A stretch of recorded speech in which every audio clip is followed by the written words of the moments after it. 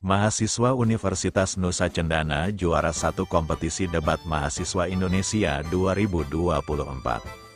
Kompetisi debat mahasiswa Indonesia, KDMI, 2024 yang diselenggarakan oleh Pusprenas BPTI, Badan Pengembangan Talenta Indonesia, Kemendikbudristek dilaksanakan pada tanggal 15 sampai 21 Juli tahun 2024 di mana yang menjadi hostnya adalah Universitas Ciputra Surabaya. Peserta yang ikut berkontestasi dalam KDMI 2024 sebanyak 112 kampus dari seluruh Indonesia yang dibagi dalam tiga wilayah.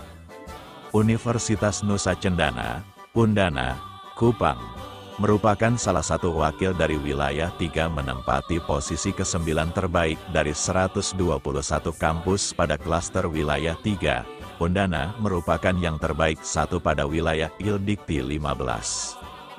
Sebelum masuk pada tahap kategorisasi, 112, kampus tersebut melalui babak penyisihan sebanyak tujuh babak dengan tema yang berbeda berdasarkan penentuan juri.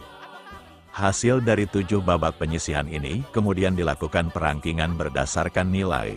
Hasil dari babak penyisihan dilakukan kategorisasi berdasarkan pilihan masing-masing kampus kontestan di mana terdapat dua kategori, yaitu Pratama dan Terbuka. Undana masuk pada kategori Pratama dengan meraih ranking 3 dari 16 kampus pada kategori tersebut. Posisi ini kemudian menjadikan Undana melaju pada dua tahapan berikutnya, yaitu semifinal dan final. Hasil dari semifinal menyisakan empat kampus kontestan, yaitu Undana, ITB Sabda Setia, Atma Jaya Yogyakarta, dan Universitas Negeri Medan.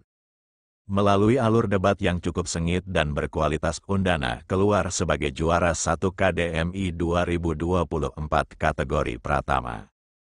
Dua mahasiswa Undana yang berhasil mengharumkan nama Undana adalah Gladys Jeristi Hae, mahasiswi semester 2, Prodi Ilmu Hukum, Fakultas Hukum dan Apriani Dangga, mahasiswi semester 6, Prodi Ilmu Komunikasi, Fakultas Ilmu Sosial dan Ilmu Politik, keduanya didampingi oleh Vikuera Mesa, mahasiswa semester 4, Prodi Ilmu Administrasi Negara, Fakultas Ilmu Sosial dan Ilmu Politik.